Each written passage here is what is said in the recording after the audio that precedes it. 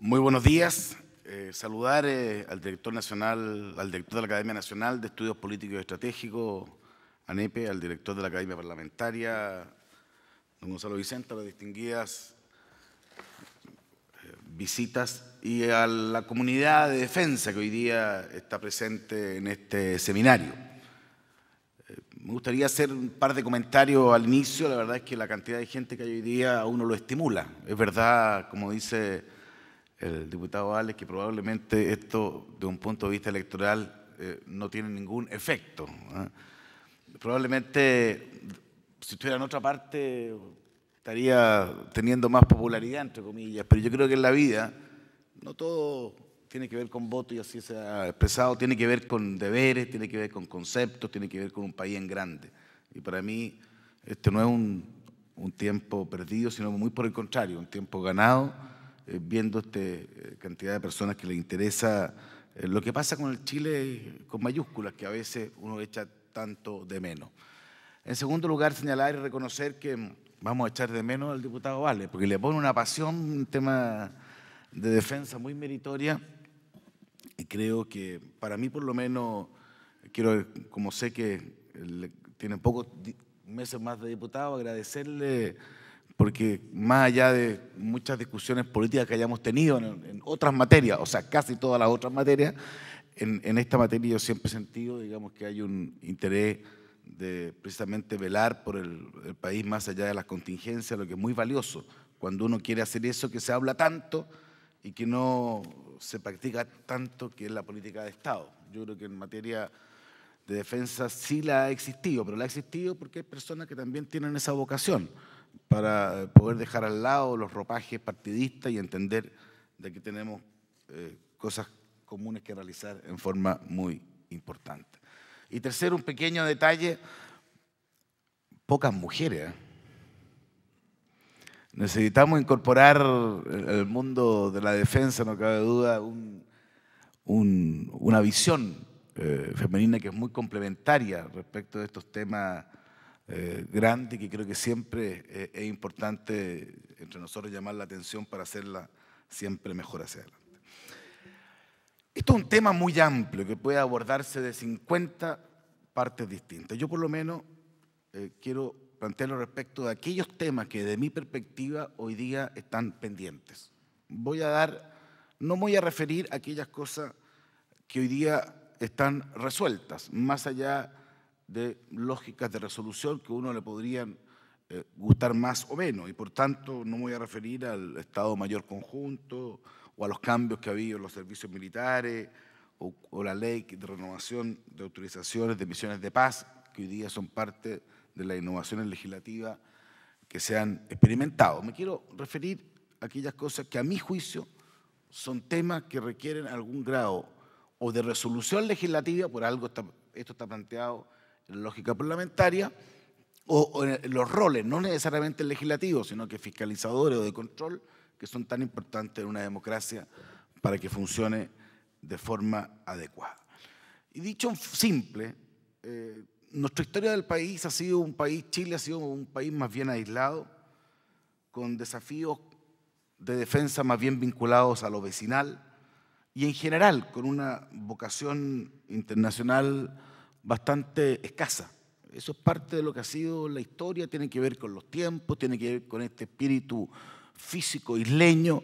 Y la que uno revisa hacia atrás eh, las actas, los debates muy interesantes que han ocurrido en el Parlamento respecto de los temas de defensa, están vinculados, tienen este común denominador en general de estar mirando a un país cuya lógica básica era el resguardo de las fronteras interiores, el resguardo en función de las políticas vecinales y mirando con una cierta desconfianza el mundo internacional. Y eso es parte de lo que ha sido nuestra historia, de lo que ha sido nuestra ubicación geográfica y lo que ha sido lo que, lo que Chile ha, ido sembrando de alguna manera.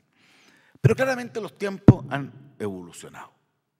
Eh, hoy día, de un punto de vista de aislamiento, entre comillas, tanto en parte por la globalización y tanto en parte por decisiones internas de política de Estado, hoy día Chile es un país que está volcado al extranjero. Es uno de los países no solamente que tiene mayor cantidad de convenios internacionales o tratados de libre comercio, tratados eh, políticos, sino que tiene una dependencia adicionalmente extraordinariamente alta respecto de lo que ocurra o no ocurra en el mundo y de cómo funciona el mundo. O sea, hay países que les pasa más o menos si el mundo funciona mejor o peor. Y nosotros estamos en la lista de esos países de aquellos que somos más dependientes de que el mundo funcione mejor. Tenemos temas nuevos que no estaban vinculados simplemente al tema de la frontera, algo hacía referencia el diputado Vale, tenemos temas vinculados al narcotráfico, que hoy día van mucho más allá de las leyes internas, van mucho más allá de lo que nos es propio dentro de nuestras fronteras, sino que se combate con organismos internacionales, justamente que quieren hacer de aquello un negocio lucrativo. Tenemos lógicas de terrorismo, no solamente el tradicional, sino que en fórmulas nuevas como el ciberterrorismo, por decir alguna, o temas vinculados al terrorismo religioso, o que son, son diferentes de lo que alguna vez le tocó a algún parlamentario eh, chileno pensar que iba a ser alguno de los temas, o algún miembro de la Fuerza Armada, que obviamente si uno, ustedes miran sus academias históricas y probablemente esto no eran temas hasta hace no sé, 10, 15, 20 años. Y hoy día sí son temas muy importantes. Y no solamente eso, yo he visto posiciones que han hecho en el Parlamento muy profundas respecto de la implicancia que estas cosas pueden tener en materia, en materia de seguridad interna. Temas vinculados y relacionados al primer tema, las estabilidades políticas internacionales, ya no solamente respecto al tema comercial, sino que respecto de valores o principios que hoy día tienen una raigambre distinta, como puede ser, por ejemplo, los principios democráticos.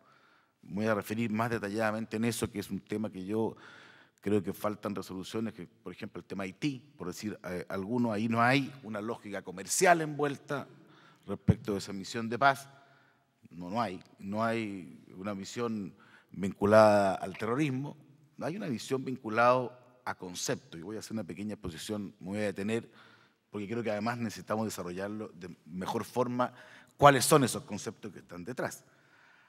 Hay temas vinculados a la energía. Chile es un país muy dependiente en materia energética, quizás una gran debilidad que tenemos como nación, pero que es parte. Cuando uno habla de la defensa y, y la seguridad no son conceptos equivalentes, pero son temas vinculados.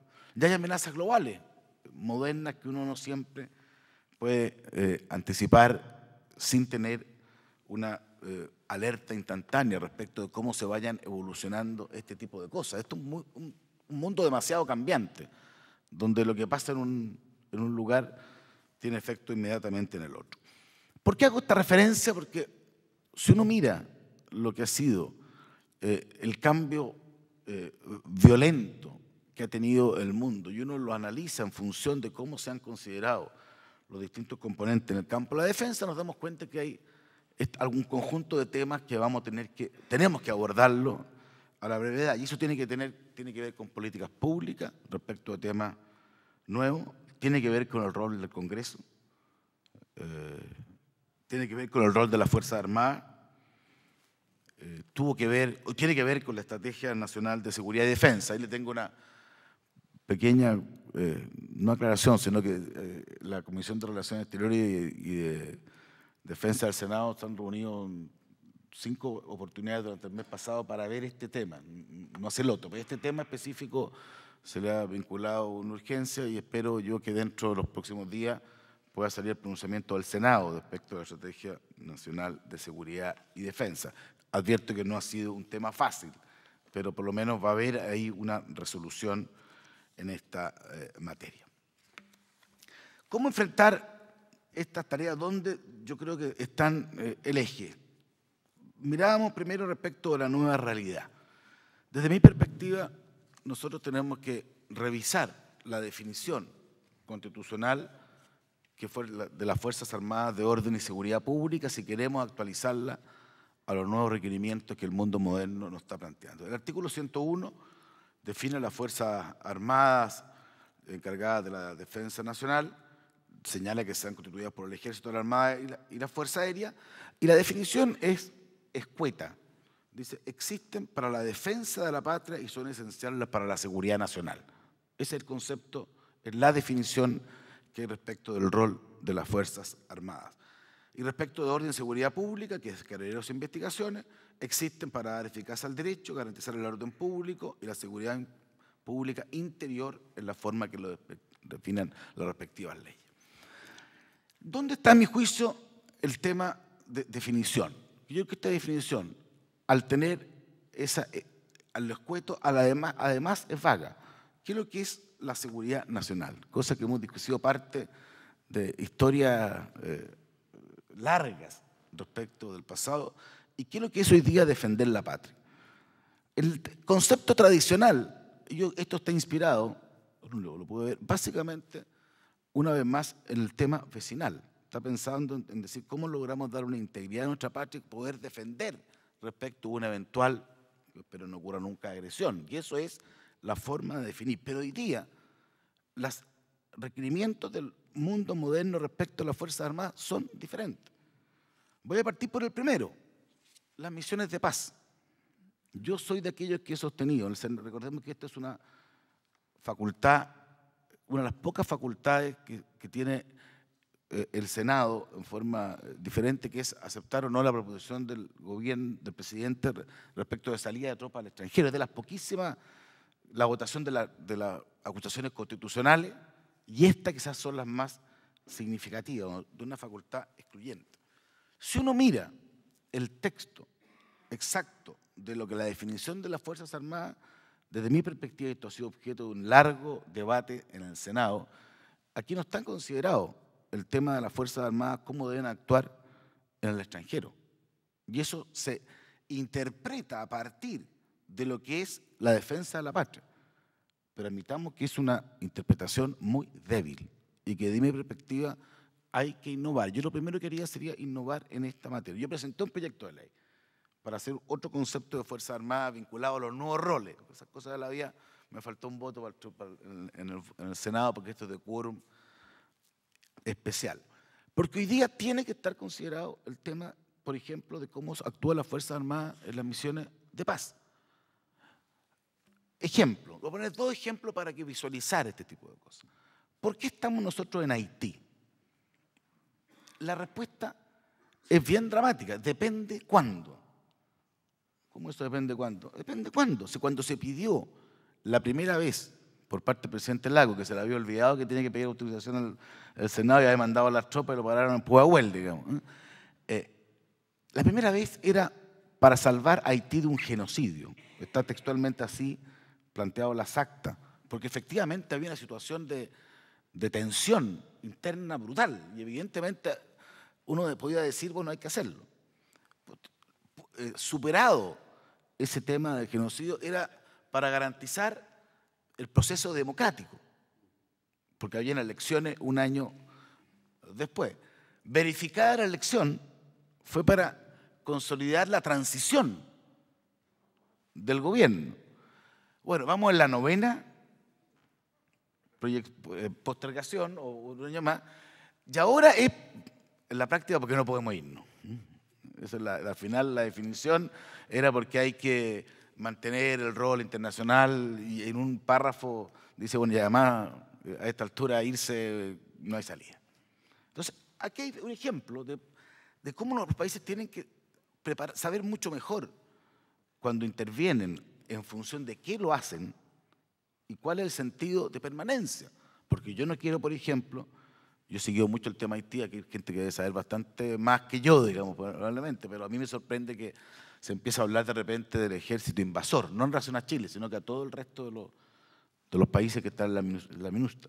Eh, y se empieza a hablar por parte de la oposición del gobierno de la época, desde el gobierno de turno, que ha dicho, sea paso, ya ha cambiado. Entonces, aquí tenemos un tema, yo no quiero nunca que esto aparezca, digamos, como como, como, un país invadiendo, nosotros estamos defendiendo. ¿En función de qué? En función de un rol que no está establecido en la Constitución, que yo creo que hay que establecerlo. ¿Por qué hay que establecerlo además? Porque hay que saber exactamente dónde uno se involucra. Yo les quiero hacer un, una reflexión. En su momento, esto no fue en forma secreta, pero por eso lo puedo plantear, yo soy muy cuidadoso del secreto, se ocultó a miembros de la Comisión de Defensa, y esto es bastante abierto respecto de qué pasaría si Chile se integrara a una misión de paz en el Medio Oriente. Ya es un tema diferente.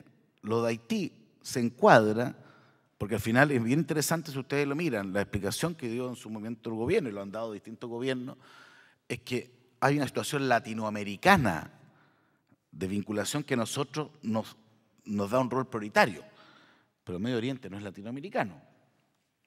Bueno, en un momento determinado puede solicitarse o se ha, planteado la opción de hacerlo. ¿Es, ¿Es correcto? Lo digo en Medio Oriente por un ejemplo, puede ser otros lugares. Eh, bueno, creo que ahí hay un tema que nosotros tenemos que resolver de un punto de vista parlamentario, con la comunidad de defensa, con el gobierno, respecto a cómo definimos este rol que las Fuerzas Armadas tienen y carabineros tienen respecto al mundo exterior, que no está cautelado dentro de la Constitución y que por la aplicación de la vía práctica temo que nos podamos involucrar equivocadamente sin ver todas y cada una de las secuelas. Por ejemplo, respecto a las catástrofes que yo hice referencia.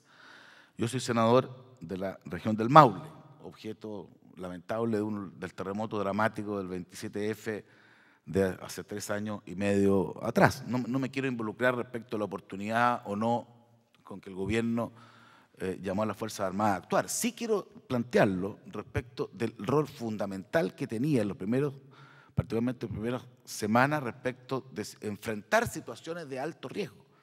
Y ahí me tocó, yo estaba en la Comisión de Defensa, conversar con el gobierno, y aquí era transversal, de ver qué cantidad de decretos había que dictar para que las Fuerzas Armadas pudieran reparar puentes que estaban vinculados a la civilidad o reparar situaciones o edificios que se estaban cayendo, cómo poder eh, evitar que ello ocurriera.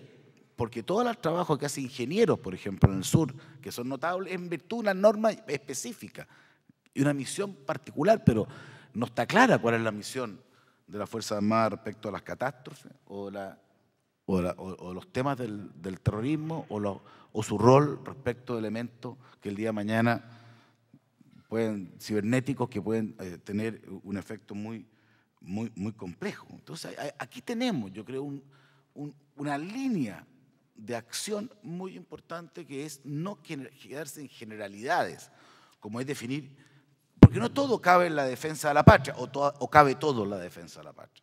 Yo prefiero ser específico. ¿Qué significa eso? Por este gobierno, el que venga y el parlamento que venga el día de mañana. No sea que algunos interpreten algo y otros interpreten otra cosa. Y yo creo que en esta materia hay que ser extraordinariamente riguroso eh, y, potente. Entonces el tema tiene que ver, y yo quiero coincidir plenamente con el diputado Ale, con la transparencia y básicamente el control o la accountability, como, plantea el profesor, respecto de los gastos en defensa. Yo, yo comparto plenamente una visión de que una cosa es lo secreto y otro es lo clandestino, digamos. Y creo que aquí tenemos que ser muy cuidadosos en entender de que aquí la confianza da confianza. Y yo a mí me ha tocado también estar en, no muchas, pero algunas sesiones secretas que se han planteado y jamás yo he visto vulnerado ese principio. Y creo que eso ayuda mucho a generar esos mecanismos eh, en la comunidad de defensa de más, de, más, de más confianza respecto de que se está haciendo una tarea adecuada, pero que no tiene que ser, que esto no es un tema que está reservado solo a los militares, porque tampoco me gusta la lógica que tampoco se reserve algo exclusivamente a los civiles que no tenga que ver con los temas de representatividad. Ahí hay una complejidad que yo creo que uno puede innovar otros países han innovado muy importantemente, el tema inglés ha hecho referencia, también colocando una nueva lógica. Cuarto tema, definir bien lo que es secreto de Estado. O sea, yo traté de plantear alguna vez qué es lo que era y no, lo encontré en ninguna parte que es lo que es. Solamente hay reserva respecto al reglamento del Parlamento, en que en la práctica casi no hay, eh, no hay sanciones, a menos que sea un, un delito de traición a la patria, que es una cosa diferente. Pero tenemos que, si queremos madurar en este tema, tenemos que tenernos más confianza, generar lógicas de transparencia y también establecer mecanismos de secreto en donde obviamente quien pueda dar una información se sienta también resguardado de que lo está haciendo a quien está con obligaciones específicas respecto de este tema. Un quinto tema tiene que ver con la vinculación de defensa con relaciones exteriores que ha sido planteado y efectivamente yo creo que el Parlamento ha dado un paso más, más allá. Nosotros somos muchas las... A mí me ha tocado, yo estoy presidiendo la Comisión de Defensa, pero me ha tocado presidir la Comisión de Relaciones Exteriores y creo que hay ahí un vaso comunicante de la moda. Estos son temas de la modernidad. Yo lo entiendo perfectamente mirando hacia atrás que el tema de defensa y relaciones exteriores tenían especificidades completamente diferentes y estaban en carriles distintos. Hoy día lo tengo menos claro, porque el mundo, por la globalización, tiene efectos. Y parte de, esos efectos es esta vinculación de lo exterior con eh, la defensa, que si bien no son sinónimos, están en un mismo carril. De repente yo noto, digamos, que hay formas de enfrentar temas que son de mutuo interés, que se enfrentan en forma distinta según sea un ministerio u otro. Claro, hoy día todavía estamos a tiempo de poder darnos cuenta de esa diferencia, pero el día que hayan decisiones puede ser bastante más complejo. Yo creo que aquí hay un tema también para el futuro, donde tenemos que eh, reperfilar eh, esta relación entendiendo la vinculación estricta que hay entre unos eh, y otros. Yo les quiero comentar como pequeña anécdota, que en algún, hace unos, un poquito después de publicado el segundo libro, La Defensa, me tocó, por un tema nada que estar en, en Moscú, eh, por un, seminario, y aprovechamos de recibir una invitación de, me, me, quedo con el nombre, pero hay como un consejo de relaciones ruso-chilenas, digamos, que uno creía que está en el cadalso, pero sigue en vivo, digamos. Y, la primera pregunta que me hicieron los estudiosos era, era cuál era la diferencia entre el primer y el segundo libro de la defensa. Había salido hace dos semanas el libro de la defensa, el segundo, ¿ah? eh, y inmediatamente la diferencia estaban cómo vinculaban las relaciones exteriores con la defensa, la diferencia entre el primero y segundo libro de Chile. Eh, cosa que no, no, no tuve capacidad de responder, digamos, pero refleja que estos son los temas que tienen que ver con los con la modernidad eh, dentro del tema eh, breve. Un sexto tema tiene que ver con las migraciones, las nuevas fronteras interiores. Ahí tenemos un, tema súper relevante y para las Fuerzas Armadas es muy importante, porque Chile además es un país que se le da esta coyuntura tan especial, que tiene un crecimiento muy relevante y tiene una natalidad muy baja. Entonces aquí o aumenta la natalidad o hay que entender que Chile va a ser un país en donde cada vez va a haber más migración. Y obviamente, respecto de fronteras interiores, este es un tema que eh, es para las Fuerzas Armadas, para la defensa, para la seguridad, muy relevante y que hasta ahora eh, yo creo que no ha sido parte de un debate interno respecto de cómo podemos abordarlo positivamente. Porque creo que tampoco yo soy partidario de, de, no asumir los nuevos riesgos, pero hay formas de asumirlo, en términos de que puedan ser con roles específicos, con cuidados específicos, con funciones específicas, que hoy día están más entregadas al azar. Y un último, o sea, no es el último, pero de los que yo quiero plantear ahora, por lo menos relevante, tiene que ver con el financiamiento efectivamente de la Fuerza Armada, en donde yo tengo dos punto que quiero agregar al debate. Esto efectivamente no se ha visto en el Senado, se lo quiero hacer con franqueza, digamos, y hay un tema pendiente. Pero hay dos cosas que a mí me llaman la atención. Primero, que mis cortos meses de presidente de la Comisión de Defensa me ha tocado, eh, digamos, convivir con algunos presidentes de comisiones de defensa de otros países latinoamericanos, y la única pregunta que me hacen eh, es, oiga, ¿por qué no me manda la ley de financiamiento que tenía Chile pasado por Dios que ha resultado bien? Entonces, a mí eso me ha dejado,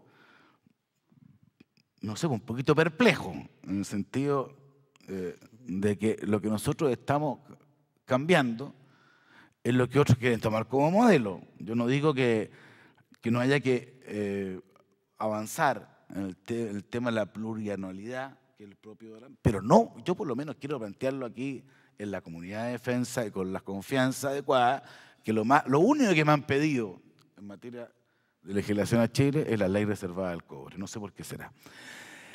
Y segundo, eh, una cosa que planteó el diputado Ale, el que a mí lo plantea de buena fe, es el mismo tema que a mí me preocupa, pero en el sentido inverso. Cuando él dice que él fue, él cedió, porque así lo planteaste, en términos del 70%, pero hay muchos que se arrepintieron en su sector político de esa sesión, eso es lo que me asusto. ¿ah? Porque no se deben arrepentir después de nuevo. Y entonces entremos en un sistema que yo encuentro que es letal, que es un parlamento con lógicas políticas, eh, resolviendo al final, por arrepentimiento año tras año, del financiamiento o de la compra de material. Porque este es el cuento de cañones o mantequilla, y creo que en eso tenemos que eh, entender, digamos, que las políticas de largo plazo y, las decisiones de inversión no pueden situarse en la lógica exclusiva del riesgo inminente. Porque ahí es donde vienen los problemas y ahí es donde vienen los, los, cartonajes en vez de para ocultar los blindajes. No me cabe duda, diputado, que usted siguiera, yo hubiera varios como usted, a otro lado de la vereda, yo daría el paso con más confianza. Pero mm, pero no sé por qué tengo una cierta eh, desconfianza en que de repente no terminemos discutiendo eh, no la plurianualidad, sino que la anualidad. Y eso, a mí por lo menos, con la visión que me ha tocado conocer en estos años del rol que las Fuerzas Armadas eh, han tenido en el país, es un tema que no me deja de preocupar y yo por lo menos quiero, creo mi deber plantear lo que es mi perspectiva. En resumen, creo que este es un tema en conjunto. Cuando yo hablo, yo el seminario lo entiendo más como los conjuntos legislativos, de control, de los, temas nuevos, a veces no tan nuevos, pero los temas que tenemos que abordar de una mejor perspectiva. Y aquí hay un conjunto de ellos que yo creo son, son esenciales, que parten de lo medular. A mí me gustaría que se hubiera, ya que el diputado les propuso un tema, yo también le quiero proponer un tema que, que ver bien a fondo si esa definición de Fuerza Armada y de Carabineros de, su rol es el rol adecuado o no. Yo parto diciendo que eso es extraordinariamente escueto y las cosas escuetas y, que dan para todo, yo desconfío. Prefiero las cosas específicas, con roles acotados, claros, y uno sepa lo que puede hacer, lo que no puede hacer, y cómo tiene que hacerlo y cómo no tiene que hacerlo.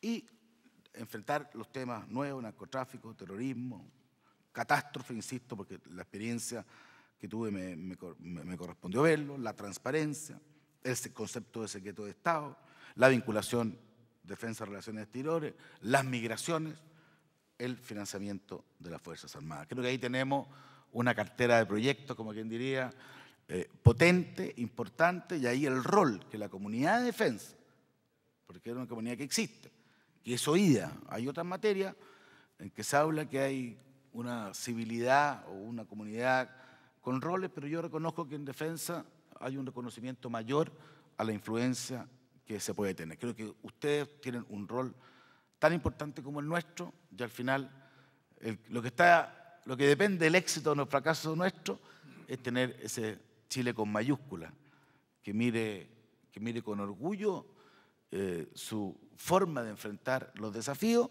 o un Chile con minúscula cuya defensa puede ser objeto de definiciones de corto plazo que son las que matan generalmente los roles importantes que en esta materia existen. La invitación a pensar es para todos. Muchas gracias.